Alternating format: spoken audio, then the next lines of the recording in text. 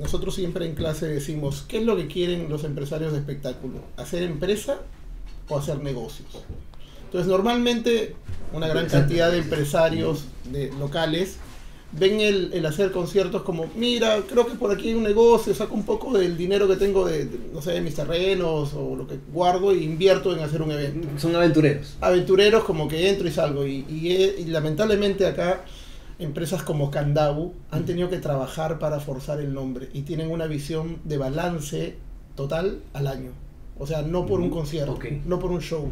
Y apuestan muchas veces bajo, no sé si la denominación de, de, management o, trabajar un artista extranjero, trabajarlo mucho de la mano y obviamente por fidelización, por, por agradecimiento, seguir con el, con el producto, porque tú a un buen artista lo tratas como se debe ese artista va a ser fiel a ti. O sea, siempre va a haber un compromiso, puede haber un contrato de, cierto tiempo, pero normalmente es por un tema de, cómo negocias, cómo, cómo ves el negocio a largo plazo. ¿no? Y lo importante es que los que se quieren dedicar a este negocio lo, lo, quieran ver de manera profesional. Y si quieren verlo de manera profesional, tienen que formar, posicionar una empresa serie de espectáculos que cuando la gente vaya a comprar un boleto diga, ¿quién lo hace?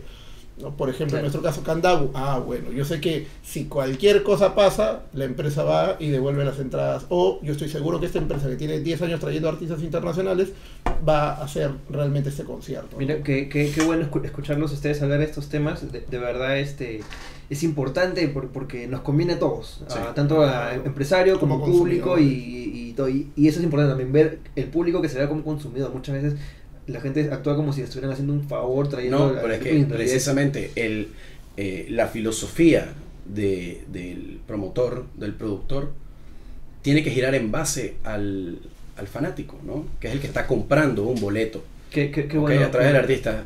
Uno obviamente trata bien a un artista, le da sus regalos de las cosas típicas del, del país, pero también le tienes que dar el agradecimiento a la gente que te está comprando el boleto porque te, lo, te van a castigar si lo tratas mal en el próximo Totalmente, yo te digo, nosotros no solamente vendemos el show, tenemos que vender la experiencia de vivir, de que la, la, persona que compra un boleto caro en nuestro país pues diga que, la pasó bien desde que estuvo en camino al evento, evitando el tránsito, desde que haya buen orden, buena seguridad, buena iluminación perimetral, señalética, servicios, atención, mi asiento, lo que sea, vivir todo el proceso del show y terminar bien, o sea, realmente vivir una experiencia completa que viene de la, de, la mano con una buena producción, o sea, si no tienes el conocimiento para desarrollar todo eso, aparte de la campaña de prensa, aparte de la publicidad, aparte de los auspicios, que sin un auspicio tú no puedes manejar un, un, show, o sea, en, otros, en otras partes del mundo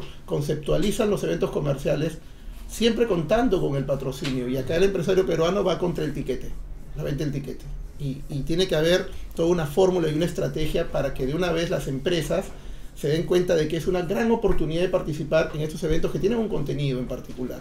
Y cuando se den, cuando podamos proponerlos, entonces este, vamos a, mejorar este negocio.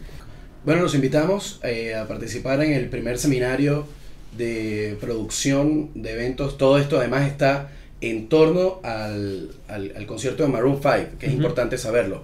Eh, todos los casos que vamos a colocar son reales en base a la contratación de Maroon 5, en caso a la producción técnica de Maroon 5. Y el último día va a ser una clase práctica en el estadio, ¿verdad? Para que vean entonces todo lo que se aplicó en la teoría, ¿okay? lo que estuvo en contratación, lo que estuvo en el rider, cómo se trasladó a la realidad. Las inscripciones pueden hacerlas a través de candabu.com. Claro, y no se lo pierdan porque van a estar los más importantes profesionales, productores locales en el Perú y extranjeros.